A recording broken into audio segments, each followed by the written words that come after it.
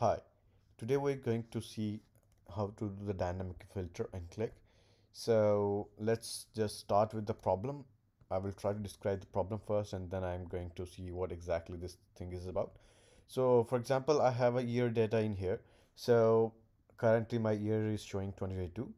So normally this is a very typical challenge that we want that whenever a new year comes in, so it gets selected automatically rather than the people you know selecting them.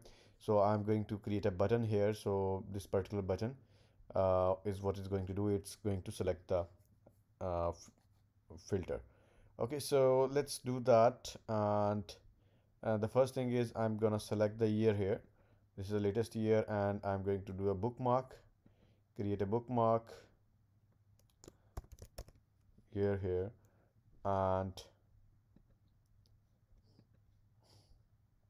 now I'm going to clear the selection and if I click oh, oh sorry I have to change the settings for the button. I'm going to add an action and the action would be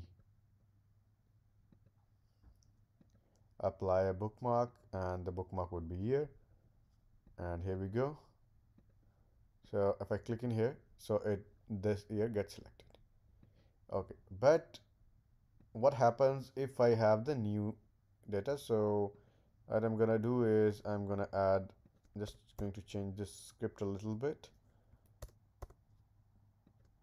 So I am you know adding the latest year is now going to be 2023 instead of 2022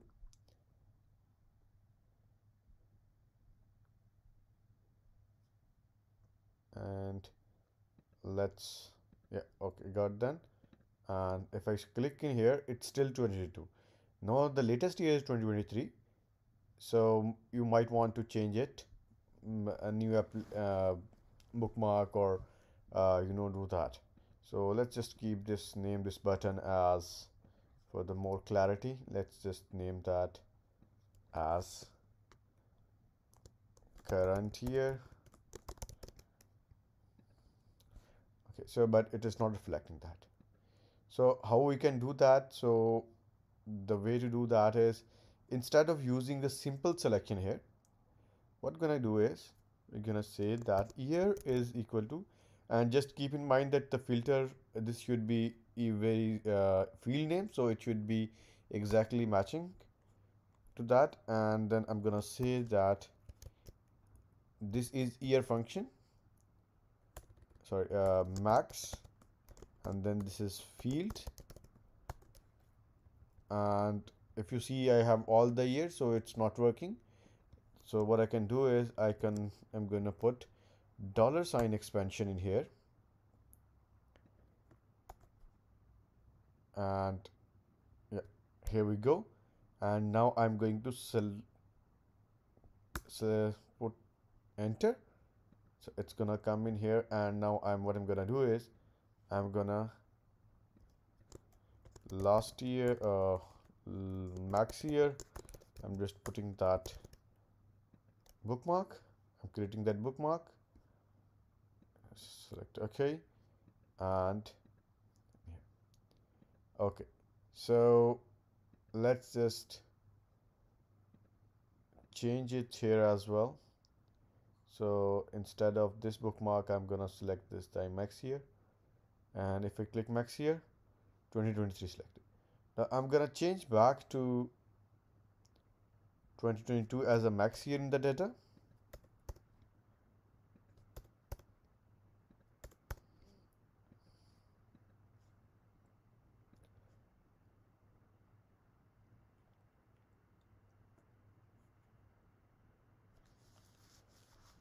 Okay so now it has data has changed. So if I click in here and the data is dynamically selected to 2022 because this is the latest year. So now whenever the next year come 2024 come it will automatically be shifted to that.